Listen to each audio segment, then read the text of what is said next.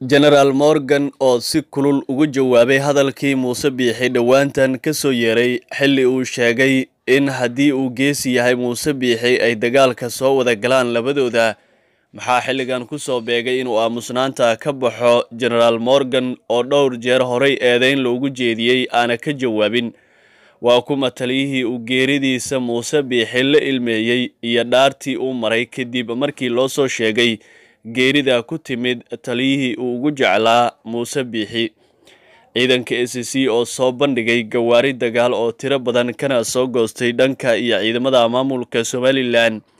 dhadhaqaaqyo saddex aag oo laga dareemaya furimaha kala duwan ee duleedka magaalada laascaanood iyo xaalad kacsanaana oo saaka halkaasi ka taagan. Qodobadaasi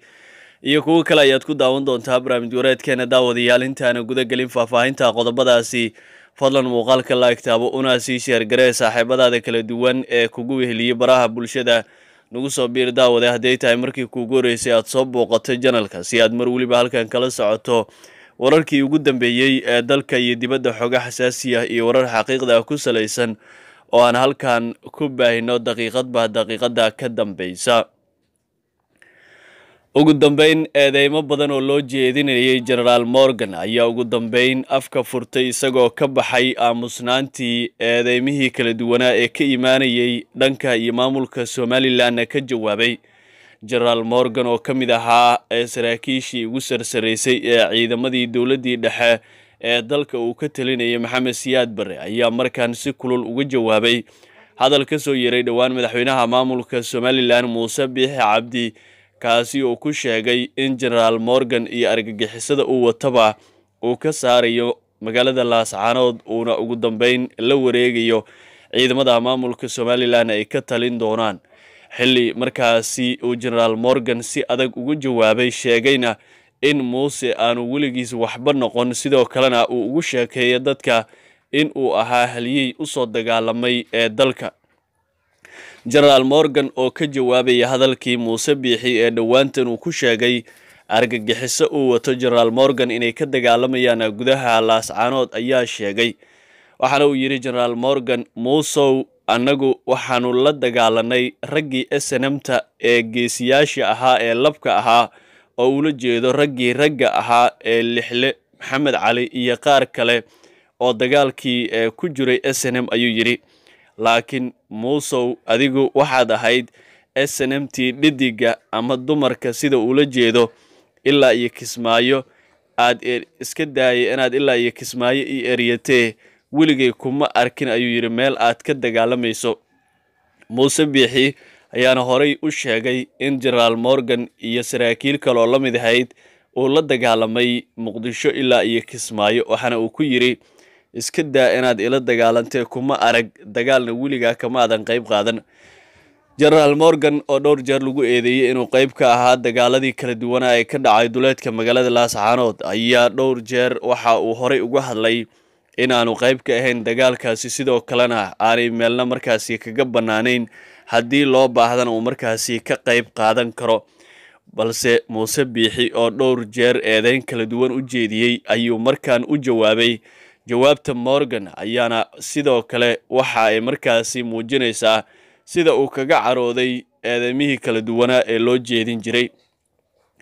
Dhanka kale waa kuma taliyihii uu geeridiisa aadka uga naxay lana ilmeeyey muuse biixi waxaana muuse biixi uu aada uga naxay taliyahan ee ugu jeclaa geeridii ku timid maalmo ka hor waxaana la sheegay ee xogta laga helaya muuse biixi inuu aada uga carooday geerida ku timid taliyahan. Sidoo kalena uu ahaa taliyihii uu ugu jeclaa kana soo shaqeeya gobollo kala duwan oo uu ciidamada maamulka somalilan hogaaminayey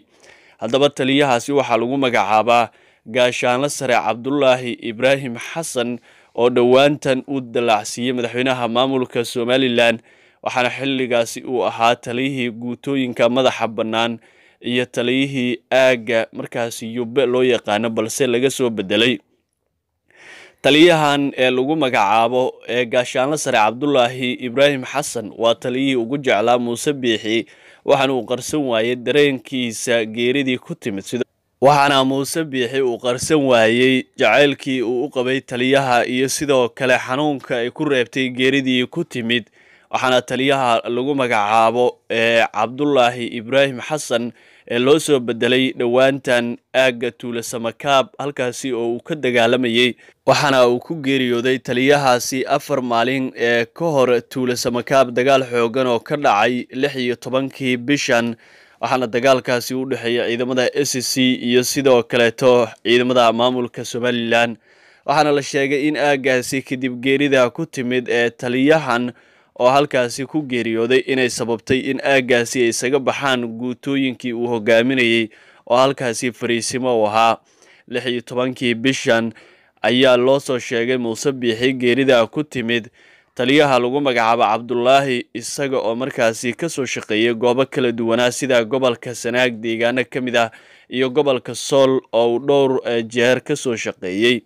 muuse biixi ayayna taasi sii caragelisay isaga oo sheegay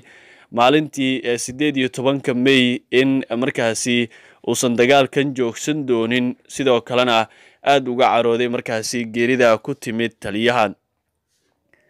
dhanka kale ciidanka a c ayaa soo bandhigay gawaari dagaal oo aada u tiro badan kuwaasi oo lagala soo goostay ciidamada maamulka somalilan gawaaridan ee kala duwan ayaa waxaa markaasi laga dheehan karay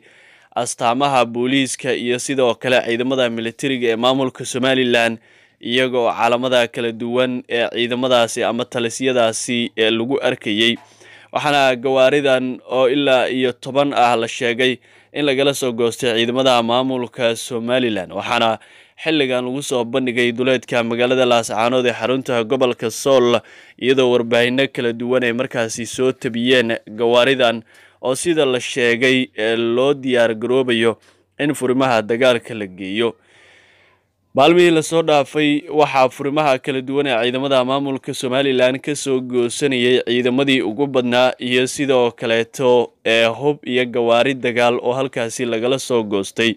Waxaana gawaaridan la sheegay in ay kala soo goosteen raggii wadayey dagaalkii ugu dambeeyey ee ka dhacay aagga maraaga iyaga oo qeyb ka noqonaya dadka deegaanka oo ay ka soo jeedaan. Waxaana halkaasi ay ka qayb noqonayaan saraakiil iyo ciidamo hore halkaasi uga soo goostay. Dhanka kale dhaqdhaqaaqyo xoogan ayaa ka soconaya aaga kala duwan oo duleedka magaalada laascaanood subaxnimada saaka. Waxaana halkaasi lagu arkayaa ciidamo aada u fara badan kuwaasi oo hub iyo gaadiid dagaal markaasi la gaaf wareegaya duleedyada kala duwan ee magaalada laascaanood gaar ahaan waxaa dhaqdhaqaaqa ugu xoogan uu ka soconayaa dhanka iyo maraaga oo lagu arkayo ciidamada s c oo halkaasi ciidamo dheeriya ku sii daabulaysa waxaana mar walba laga cabsi qabaa in dagaal culus iyo halkaasi uu ka dhaco.